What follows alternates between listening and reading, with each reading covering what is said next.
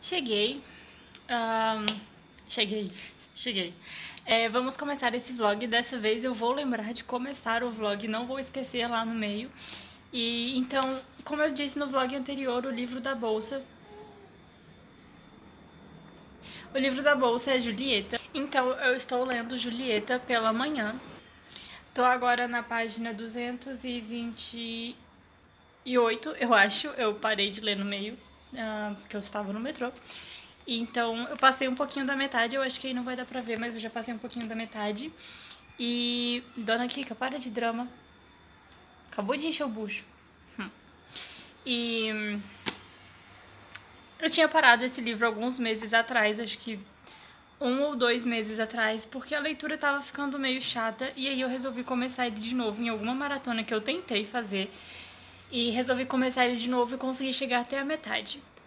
Aí ahn, a história começou a andar e começou a pegar um ritmo melhor. Então mais coisas estão acontecendo. Como eu disse, as as histórias se intercalam entre o passado e o presente. Então, no passado, com a Julieta Tolomei, e no presente, com a Julieta Tolomei, porque é meio que uma tradição de família.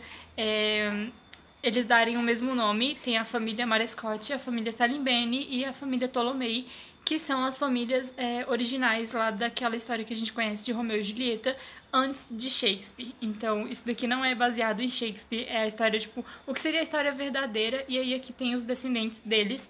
E agora as coisas começaram a se revelar aqui, então. ah, como eu disse em algum outro vlog, a protagonista tem uma irmã gêmea e aí a tia avó, acho que é a tia avó delas, morreu e aí deixou um testamento deixando toda a fortuna para a irmã gêmea da protagonista e nada para ela e aí acabou que ela teve que ir para Itália para poder caçar um tesouro que a mãe dela deixou para ela. Só que esse testamento era falso. A tia delas não tinha nada de dinheiro, só tinha dívida. E aí, agora que elas estão começando a descobrir essas coisas e outras, então eu quero ver o que vai se desenrolar a partir daqui. Mas eu não vou continuar a ler ele por agora. Na verdade, eu vou terminar só o capítulo que termina na página. Ei, dona Kika, para de resmungar. É, o capítulo termina na página 230, então eu tô na 228, eu vou terminar ele agora. E aí eu vou pegar Fortaleza Digital, que eu não consegui ler a minha meta de ontem, porque de noite, ao invés de ler, eu fui fazer a janta. Então eu vou pegar Fortaleza Digital agora de tarde pra ler as metas de ontem e hoje. Tenho que escre- é, escrever a resenha de hoje também pra postar, que é de um uma parceria com a autora e eu gostei bastante porque eu não imaginei que um livro de 104 páginas pudesse me surpreender tanto. Então, quando esse vlog sair, a resenha já vai ter saído e você vai poder olhar lá no meu Instagram, que fica com o link aí no box de descrição. E então é isso. Vou começar a ler e comer e dar atenção pra essa dona idosa carente. É isso. Até mais tarde.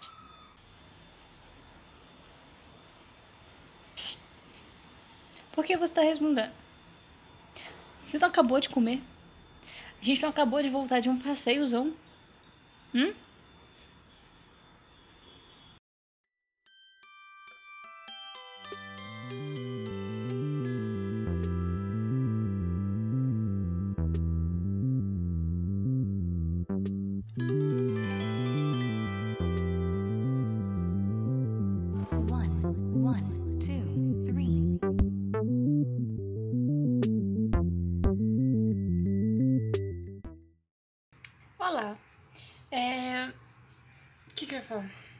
Sobre as leituras.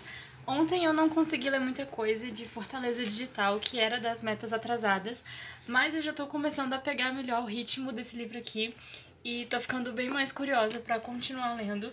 E eu ainda tô na página 62, hoje eu preciso chegar até a página 122, então não sei quantas páginas isso dá. E o que tá acontecendo aqui é que, logo no começo do livro, eu acho que isso não é spoiler, então eu posso contar porque acontece no começo do livro. Um, aquele carinha que eu falei que criou o código que não pode ser quebrado pelo supercomputador da NSA, ele morreu e ele tinha uma chave que era. é, esse código que ele fez, vou tentar explicar direito. Esse código que ele fez é, que não pode ser quebrado foi através de um programa que ele mesmo criou, que dá o nome ao livro. E aí ele soltou esse esse programa na internet de graça para qualquer um baixar. Só que ninguém consegue abrir porque tem uma, uma um código, uma chave para poder desbloquear o programa. E só ele tem essa chave. Então só o código que ele guarda consegue desbloquear o programa dele. E aí ele soltou isso como uma ameaça para a NSA. Tipo, ou vocês desativam o translator, que é o computador, o supercomputador é, decifrador de códigos da NSA. E, então, ou vocês desativam esse computador, contam para todo mundo que ele é capaz de ler todos os e-mails do mundo sem a pessoa saber. Ou eu solto a chave e aí qualquer um vai poder escrever qualquer mensagem em códigos que o translator não vai conseguir decifrar e aí, ou seja, a NSA não vai mais conseguir é, barrar ataques terroristas, tráfico, essas coisas. Eles não vão conseguir mais saber dos e-mails é, suspeitos e perigosos que as pessoas trocam para planejar coisas erradas. Então, tá nesse dilema aí, o cara morreu, a chave tá com ele, não sabem o que fazer. Tem. É, o programa tá a leilão, a chave do programa tá a leilão, e aí falta pouquíssimo tempo pra poder dar o final do negócio lá.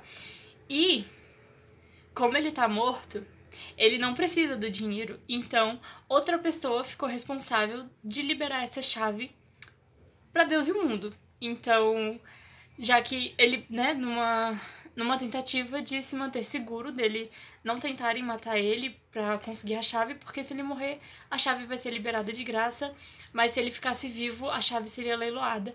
Então, como ele tá morto, a chave será liberada de graça para quem quiser poder desbloquear o programa e escrever em códigos não decifráveis. Então, tá tem essa situação porque a protagonista, é, o noivo da protagonista foi atrás do corpo do, do programador que morreu, que tem essa chave, e ela não sabia que tinham metido ele nisso. Então eu, eu ainda tô meio curiosa pra saber o que, que vai acontecer com esse casal mas o foco não é o casal. Eu espero que o foco não seja o casal e eu tô bem curiosa para saber o que, que vai acontecer daqui pra frente. Sobre Julieta, eu confesso que eu fico bem ansiosa pra. Eu tô mais ansiosa para as partes que se passam em 1340 por aí do que para as partes aqui do presente, mas as partes do passado ajudam a a dar um negócio assim que a gente começa a entender melhor as coisas do presente. Então, mas eu gosto mais das partes do passado. É, então hoje de manhã eu já li mais um pouco e agora eu tô na página 256. Agora sim eu tô chegando na reta final. O livro tá todo cagado. Ele molhou um pouquinho na bolsa porque meus livros quase sempre molham. Agora não porque eu troquei de copo, então não tá molhando. Mas eles quase sempre molham e esse aqui ficou um pouquinho estragado. Tadinho. Mas enfim, então eu tô gostando bastante agora de como as coisas estão se desenvolvendo. E a protagonista que antes estava sozinha na Itália, agora tá com a irmã dela, então acho que de duas é mais fácil de desvendar as coisas, né? E, mas a irmã dela, mesmo tendo, é, estando tentando se redimir, porque ela já fez muita coisa ruim pra, pra Julieta, o nome o nome delas, na verdade, é uma tradição de família, que é Julieta e Dionosa é, só que os nomes americanos delas eram Julie e Janice, que é a gêmea da protagonista. Então, a Janice, ela fez muita coisa ruim pra Julie, e isso tá me irritando, assim, mesmo ela tentando se desculpar pelo que ela fez e tal, ela ainda me irrita um pouco. E se eu fosse a Julie, eu não perdoava também. Mentira, não sei. Mas eu não confiava tão fácil como ela tá fazendo agora. Enfim, continuar essa leitura e vamos ver no que dá. Eu adoro essa capa. Na verdade, não podia ter essa mulher aqui assim, ó. Só essa de cima. Aí eu acho que ficaria legal. E uma coisa que é muito legal fazer enquanto eu tô lendo esse livro é pesquisar os lugares por onde a protagonista passa. Então, se eles falam. É, Piazza, pra, não sei. Se eles falam o nome de um lugar, eu vou lá no Google, pesquiso e eu tô salvando as imagens. Eu sempre tive vontade de fazer isso com alguns livros. Eu não sei se eu tô tampando o microfone. Eu sempre tive vontade de fazer isso com alguns livros, de pesquisar os lugares para poder me ambientar melhor. Mas eu não tenho nada o que fazer com essas imagens, é mais pra mim mesmo, pra eu conseguir visualizar ali onde as coisas estão acontecendo. E aí eu tô colocando, é, eu circulo os, o nome dos lugares e as frases eu sublinho. Deixa eu ver se eu consigo mostrar uma página aqui. Minha mão tá tremendo, desculpe pela tremedeira, mas é porque tá doendo. Ai, não vai dar pra mostrar, eu vou tremer demais aqui enquanto vocês esperam. Então é isso, agora de tarde eu vou dar continuidade à leitura de Fortaleza Digital, porque tá bem atrasado. Então, não sei se dá pra ver, mas eu tô bem no comecinho mesmo. E então eu vou dar continuidade à Fortaleza Digital. Não sei quando é a próxima discussão no grupo da leitura conjunta. E. Meu Deus, tá aparecendo ali, desculpa. e... e... Acho que é isso mesmo. Se eu conseguir chegar na meta de hoje de Fortaleza Digital, eu pretendo pegar mais um pouco de Tormenta de Espadas. Eu não tenho falado muito dele por aqui, mas é porque eu realmente esqueci de pegar ele pra ler. E Aliás, onde é que ele tá? Ah, tá aqui. Meu livro some.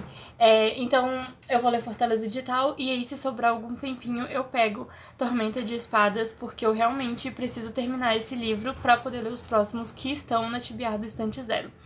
Então, é isso. Chega de falação e até mais.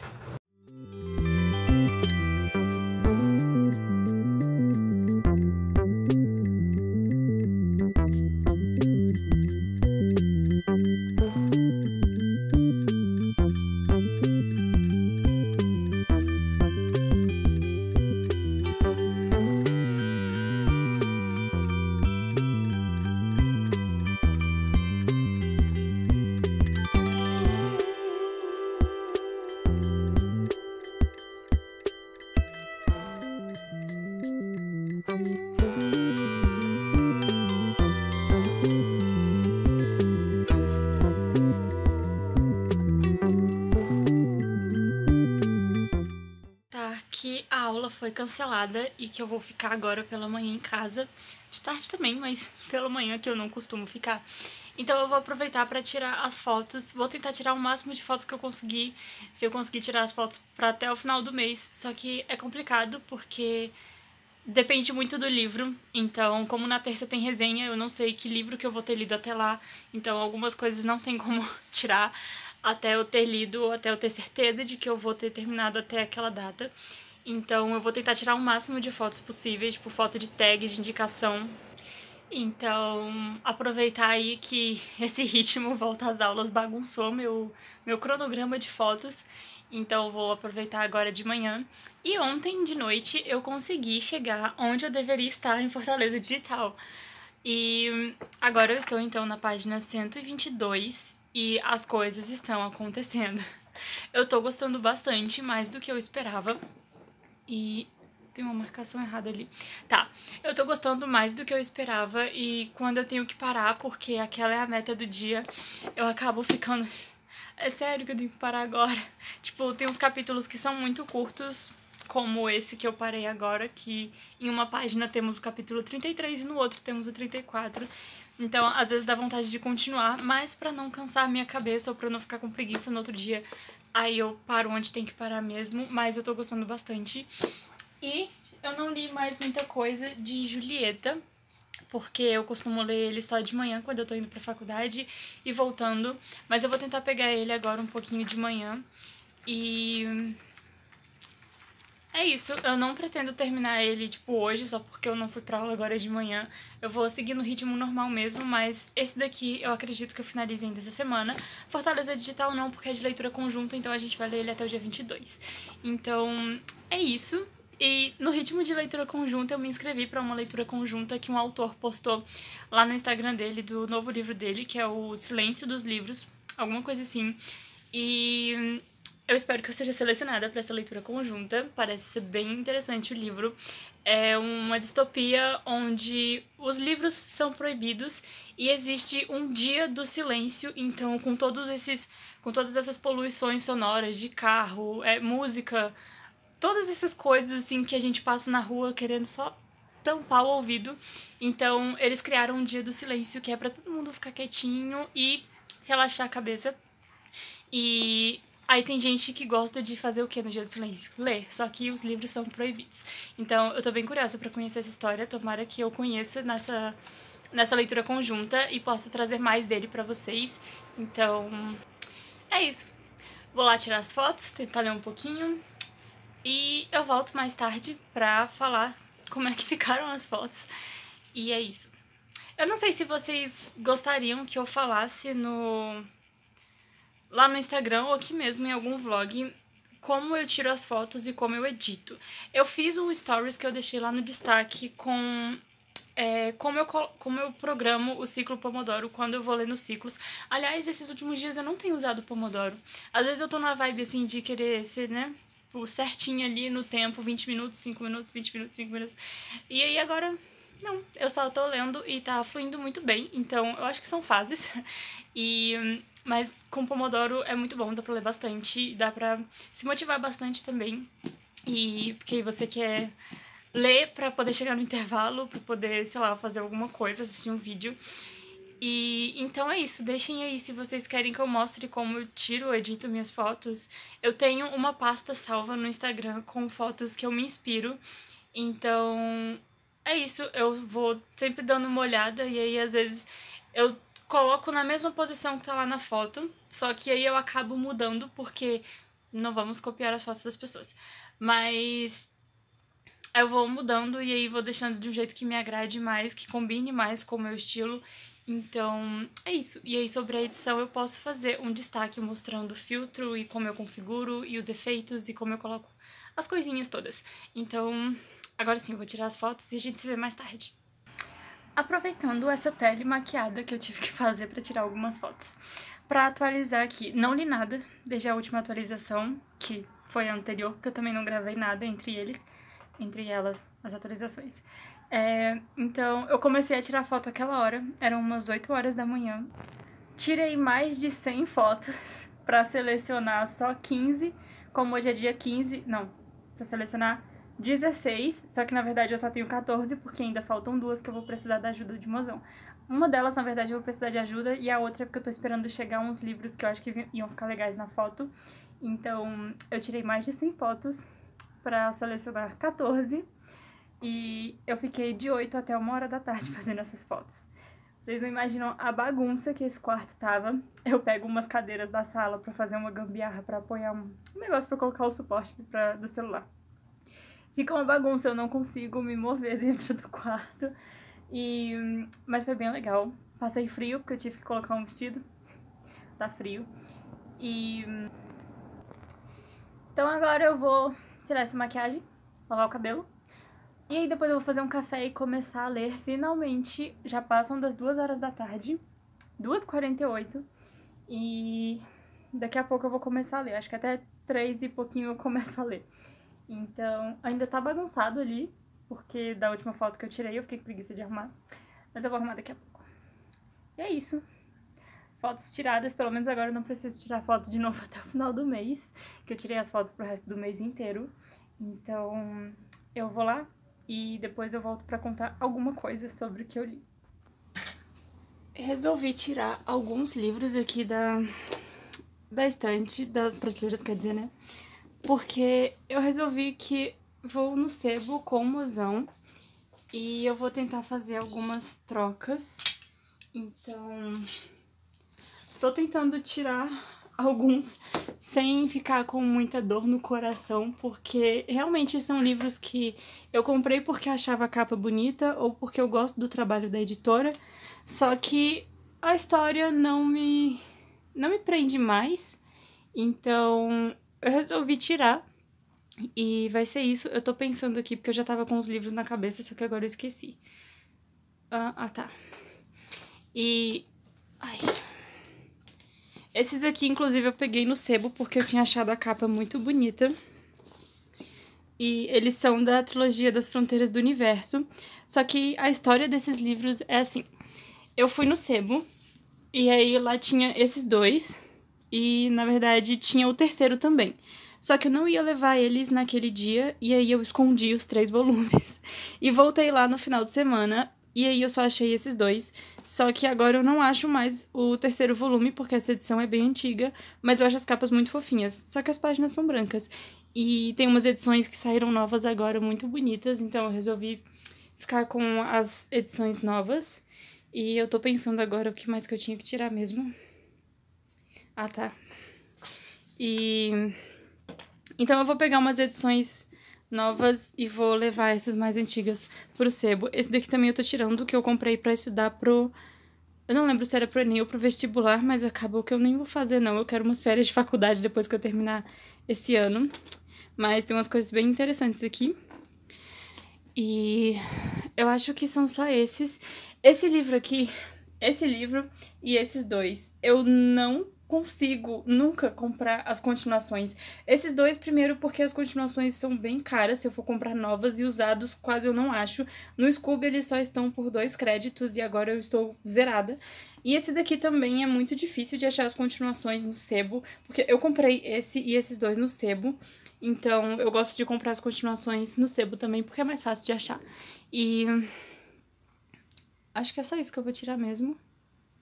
Não consigo pensar em mais nada. Esse daqui eu fico muito na dúvida. Eu não lembro da história, mas eu lembro que eu gostei. E eu não sei se eu releio, porque eu realmente eu acho que eu tenho um pouquinho de vontade de reler ele. Ou se eu levo pro sebo, porque é uma história que foi boa na época, talvez hoje não, não fosse tão boa quanto ela foi. Mas eu fico bem na dúvida. Vou deixar ele separado e se pegarem, bom. Se não pegarem, é um sinal. E deixa eu ver se tem mais alguma coisa. Esse livro da Anastácia eu gostei bastante, mas eu não acho que eu vou relê-lo. Mas eu gostei bastante. É uma história bem legal. Mas eu não sei, eu tô muito na dúvida. Eu não quero também tirar muita coisa só por tirar, porque eu quero ter espaço para colocar mais coisas novas. Depois eu me arrependo. Um dia desses eu tava pensando em um livro, inclusive, e me perguntando o que, que eu fiz com ele, e aí eu lembrei que eu tinha levado ele pro sebo, e agora eu fiquei com saudade dele. Eu também não lembro que livro que é agora. Esse livro aqui eu tenho muita vontade de tirar. 10 mil guitarras. Só que mozão falou que vai ler ele. Meu potinho com água e vinagre pra passar na cara. É, mozão falou que quer ler ele, então eu vou deixar ele aqui. Se mozão não ler esse livro até o final do ano, eu vou levar ele pro sebo. E Aqui tem ensaio sobre a cegueira, um livro do Scooby. Esse Garoto no Convés também eu queria muito ler. Eu li O Menino do Pijama Listrado e gostei bastante. Essa entrevista com o vampiro era para aquele projeto do Resenhando Clássicos. Falecido Resenhando Clássicos, que vai voltar no ano que vem. Então, se inscreve aqui no canal para você ficar sabendo de tudo que vai acontecer quando o canal voltar oficialmente. E essa edição é bem antiga, tem uma edição mais nova que é mais bonita. Mas eu não acho, eu só acho dessa edição antiga e eu não sei se eu quero ler aqui. Então, eu também não sei se. Eu comprei ele no sebo e eu vou nesse mesmo sebo amanhã. Não sei se eu volto ele pra lá ou se eu deixo ele aqui. E eu acho que são essas as minhas escolhas por enquanto. Eu tô com uma listinha do que, que eu pretendo procurar lá pelo sebo. E. Acho que é isso mesmo. Ali tem alguns que não sei porque a crave a marca tá ali, porque eu ainda não li, ele tinha que estar tá aqui embaixo. Mas tudo bem. Esse livro eu comecei a ler ele uma vez, aí eu parei, aí eu comecei a ler ele de novo e aí eu parei de novo, faltando só isso daqui. E esses dias eu achei ele no sebo e até comentei com uma amiga minha que tava comigo falando que eu tinha esse livro que eu tava tentando ler ele há um tempão. E ela falou: se ele tá aqui é porque ele não deve ser bom, mas ele é bom sim. Só que eu preciso terminar e falta só isso. E ah, o livro é O Rebelde, essa capa maravilhosa. Hum, eu acho que eu vou tirar só esses livros mesmo, por enquanto. Então, eu vou mostrar a pilha que ficou para vocês. Então, esses são os selecionados, os convidados a se retirarem da minha coleção. E deixa eu mostrar aqui.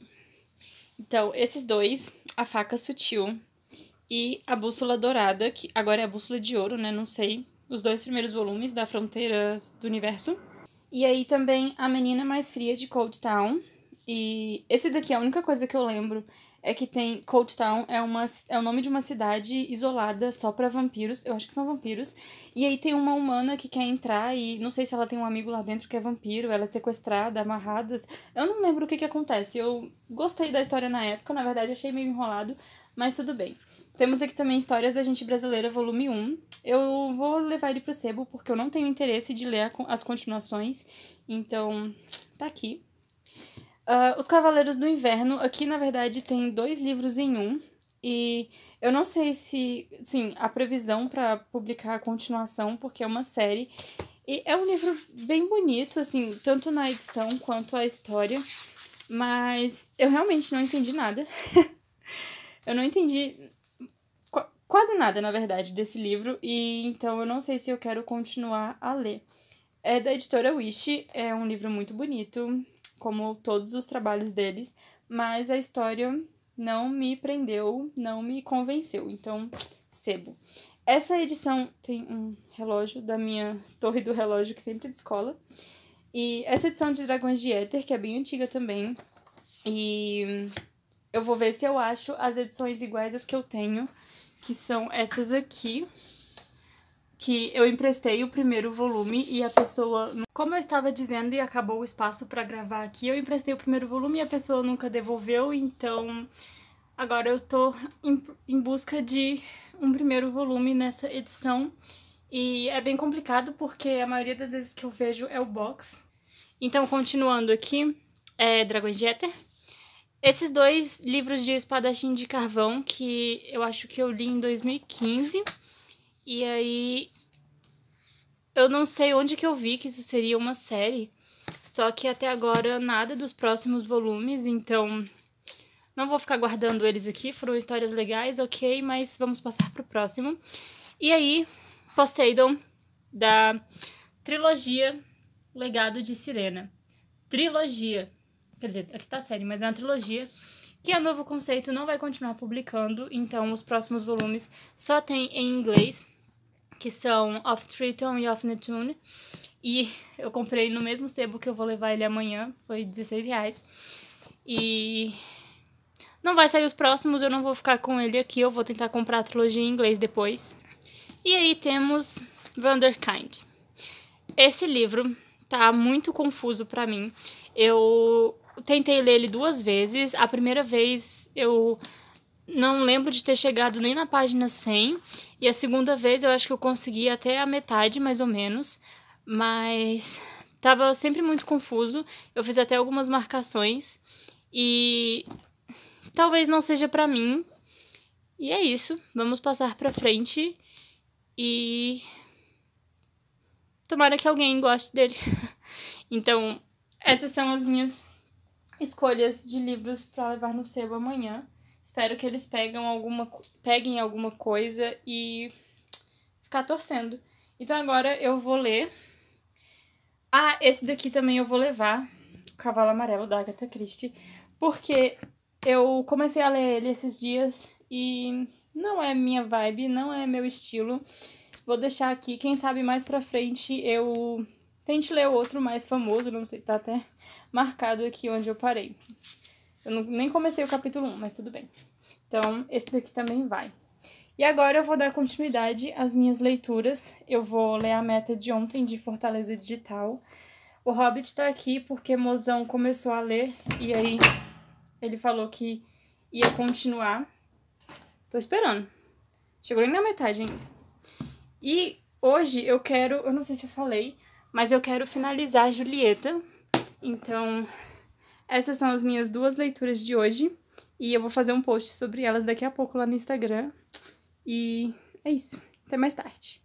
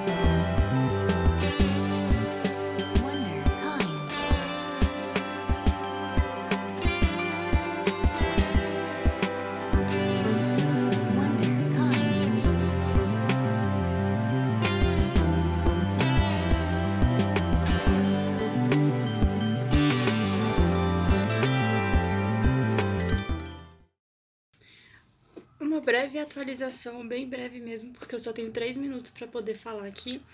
Uh, sobre a leitura de Fortaleza Digital, eu já li a meta de hoje, não sei que horas são, devia ter olhado isso antes. É, então, consegui ler a meta hoje bem mais cedo, porque às vezes eu deixo para de noite e aí de noite eu fico com sono e acabo deixando pro outro dia e isso vai acumulando. Mas eu tô conseguindo manter tudo em dia e eu tô gostando bastante. Agora começaram a aparecer vários pontos de vista.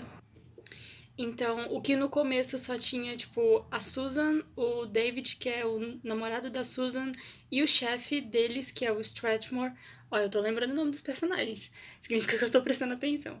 E então agora tem vários outros personagens que trabalham dentro da NSA, só que eu tô achando bem estranho porque assim, é, a história toda parece que está se passando em um dia, na verdade 36 horas, pelo que um personagem acabou de dizer aqui, que foi quando o Stratmore, que era o chefe da Susan, ele ainda é o chefe da Susan, chamou ela lá para uma emergência com o Translator, que é o supercomputador de desencriptação, não sei como é, o termo certo, mas enfim, é 36 horas até agora de história.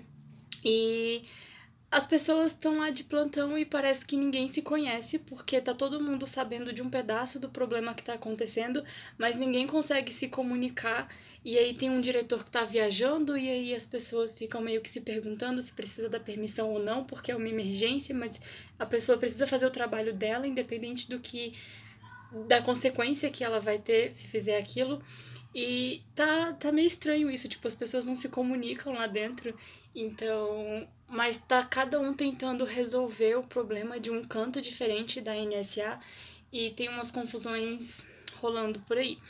E o David, que é o único que não tá na NSA, que ele foi pra Espanha atrás de uma outra parte da chave que quebra esse código que tá empacando aí o translator. Então a gente tem vários pontos de vista mesmo, acho que são, deixa eu ver, dois, quatro, são pelo menos uns sete é, personagens que estão aí é, tentando resolver esse mistério. E eu peguei um spoiler lá no grupo da leitura conjunta, mas porque eu estava com a leitura atrasada da meta do dia, mas eu já desconfiava do que, do que falaram por lá, então fiquei feliz que minha, meu palpite estava certo, porque eu quase nunca acerto essas coisas. E eu tô gostando bastante, tá sendo bem difícil, na verdade, parar para poder dar continuidade só no outro dia, mas eu não quero terminar antes de todo mundo, então eu vou ler aos pouquinhos mesmo, e agora já tá na hora de eu parar de falar porque vai dar o tempo ali. Então eu vou pegar agora Julieta e tentar terminar ele ainda hoje. Tomara que eu consiga. E então é isso. Eu volto amanhã ou hoje mais tarde, não sei.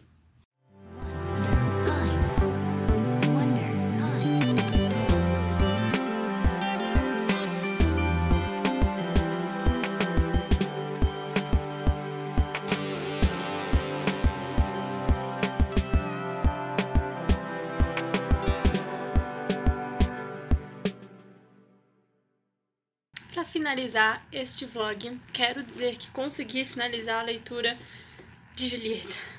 Eu não lembro há quanto tempo eu tô lendo esse livro. Acho que era antes de começar o Estante Zero. O Estante Zero começou em julho, foi? Acho que foi. E em julho eu já estava lendo e já estamos no dia 19 de agosto.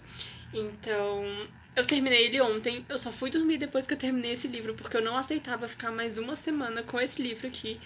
E hum, gostei. No começo, tanto que eu tive que recomeçar ele, porque eu não tava me envolvendo tanto com a história e eu tava gostando mais da parte medieval do que da parte no presente. E aí acabou que lá pros últimos capítulos parou de intercalar com a história de 1340. E aí começou mesmo a, a. As coisas começaram a se resolver finalmente todo o mistério aqui em volta das pedras que foram colocadas nos olhos das estátuas de Romeu e Julieta de 1348, eu acho. E foi uma resolução legal. O romance não ficou chato. E a irmã gêmea da protagonista, que era um saco, até que ficou suportável.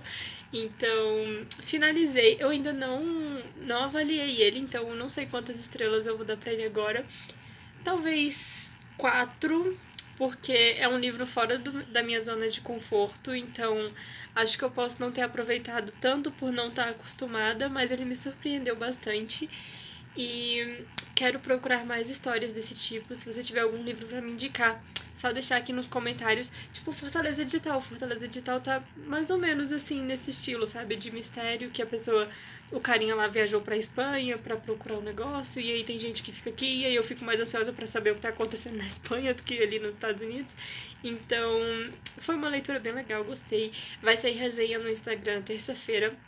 Esse vlog não vai sair na terça-feira. E, e eu acho que é isso. Não li a meta de ontem de Fortaleza Digital porque eu fiquei nesse livro aqui, eu tinha que terminar ele. Então agora eu tenho a meta de ontem e de hoje de Fortaleza Digital para ler. Já comecei mais um livro para essa semana e vocês só vão ficar sabendo no próximo vlog, porque eu não quero falar muito dele agora, porque senão depois no próximo vlog eu não tenho o que falar, né? Mas então é isso. Leitura finalizada, leitura conjunta legal, tô conseguindo cumprir as metas de leituras para participar das discussões.